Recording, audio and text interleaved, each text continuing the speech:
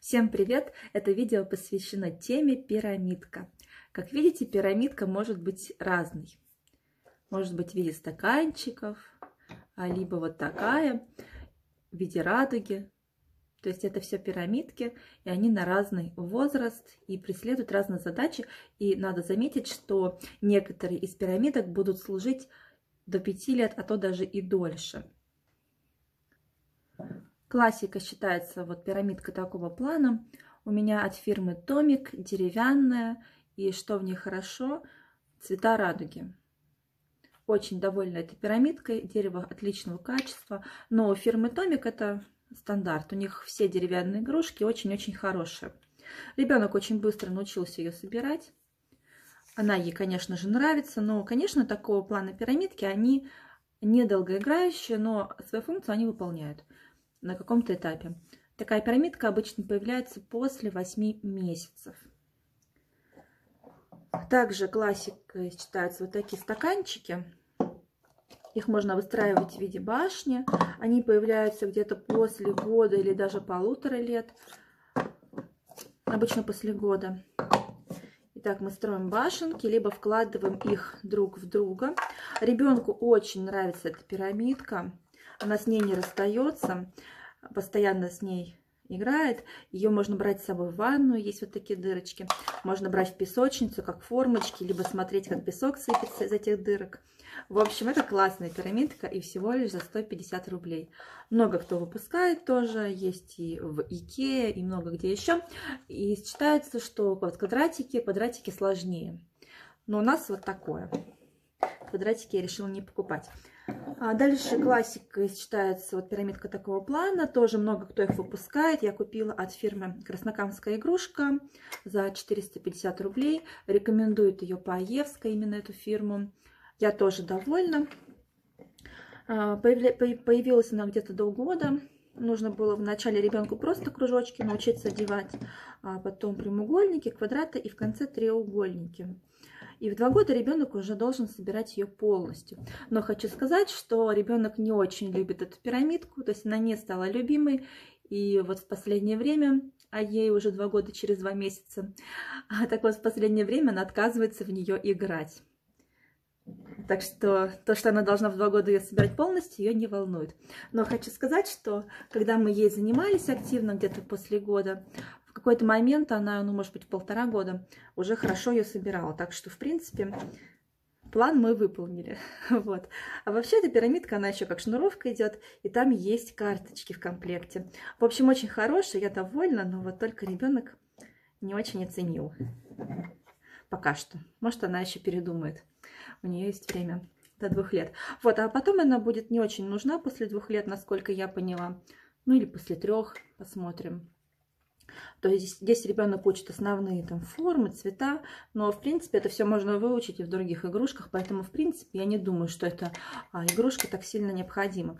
Да, она совмещает в себе функции сортера, но у нас как уже э, дома полно там, ну, подобных игрушек, где мы изучаем форму, цвет, сортируем. Так что, в принципе, нам эта игрушка не была бы обязательной, на мой вкус, конечно. Вот, кстати, в том, что касается сортера, вот здесь э, такая пирамидка необычная, с секретом. Здесь тоже нужно подобрать по форме, ставить детальки. Вот. А потом уже сюда. Эта пирамидка, она уже сложная. Появилась она в год и 9, ну, буквально две недели назад. И ребенок ее пока не может собрать, но она очень любит ее разбирать. А еще я решила ей упростить задачу и я ей оставляю не все сразу вот так вот вывалено на стол, а вот даю вот несколько, и чтобы она вот нашла, как вставить. Конечно, досочки Сегина она уже давно собирает, но вот почему-то с пирамидкой у нее возникли сложности. Когда много всего это вот вывалено перед ней, она как-то теряется. Вот, ну ничего. Пирамидка очень хорошая, все гладкое. Вообще все пирамидки очень хорошие по качеству. Поэтому, в принципе, на это отвлекаться уже не буду. Вот, эта пирамидка мне понравилась тем, что она необычная, она сложная. Она, я думаю, что и после двух лет будет интересна. Но если говорить вот про то, чтобы она была и в пять лет интересна, я так не думаю. Это просто по приколу. А в 5 лет ребенку будет интересно вот это. И дело в том, что это не только пирамидка, но еще есть задания по карточкам.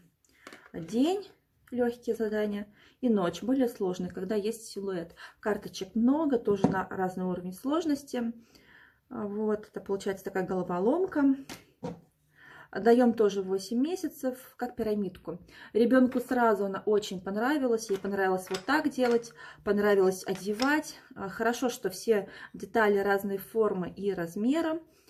Их удобно одевать. Очень все хорошо входит и выходит. А, сложно одевать было вот эти мелкие ребенку. Но потом научилась. И еще долгоиграющая пирамидка вот такая, она на развитие фантазии.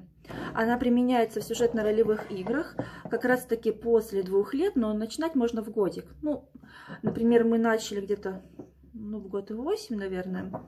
Ребенок сразу полюбил эту пирамидку. Мы, значит, делаем тоннели для машинки. Машинка выкатывается. Потом машинка скатывается с горки. Маленькая машинка есть. Потом мы кукол качаем. И даже она сама садилась вот сюда и качалась. Поместилась. Вот.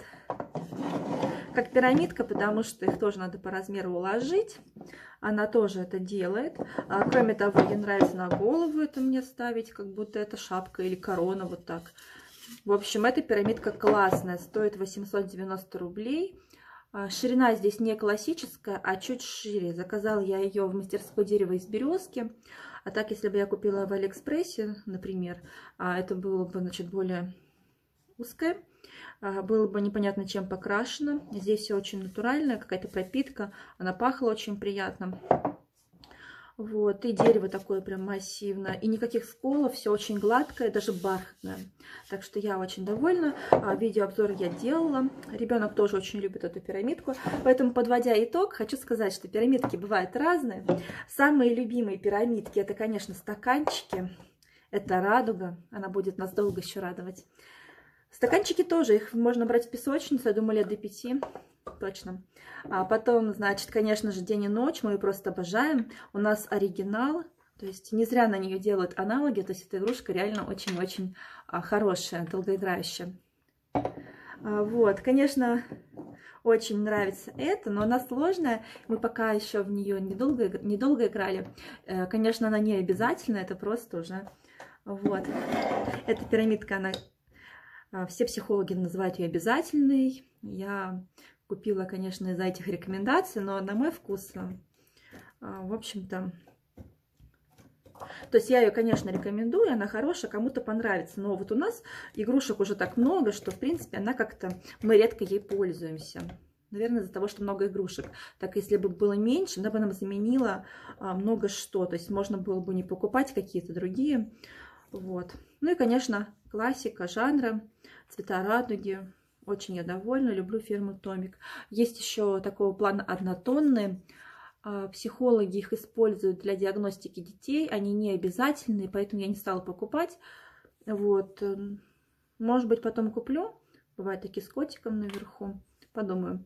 Но, в принципе, пирамидок у нас достаточно.